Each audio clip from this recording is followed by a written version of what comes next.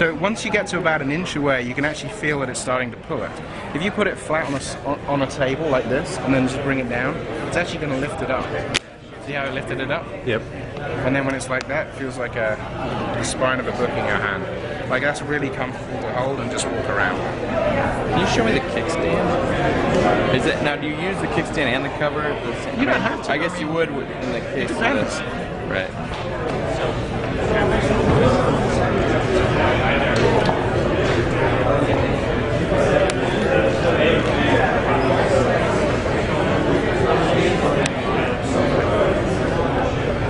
Do you So there's- that sounds?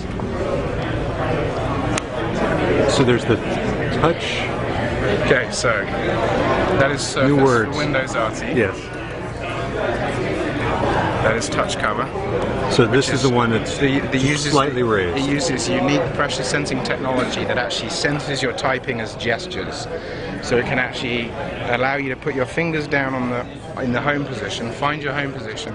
You can actually rest there and it doesn't fire off keys. But when you start touch typing on it, it actually registers those key presses or the gestures as key presses, and that, that allows me to type at 52 words a minute. I type at 50 on a laptop keyboard of a similar size, and then touch a type cover allows me to Type cover. Okay, that's that. Touch and type cover. Okay. So just slightly faster, more traditional. This one's 62 for me, but it would vary by the person. I mean, if they, depending on what their. Uh,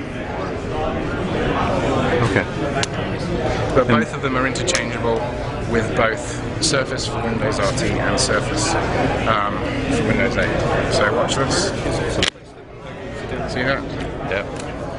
How strong is it? What happens if you hold it? If you hold the, You mean can you way? hold it by the? Okay. Does that make you a little nervous? No, I'm just doing this so that. You value. But you can. I mean, you can. Your You job. can do. It's not falling off, right? So. No, both of them are interchangeable.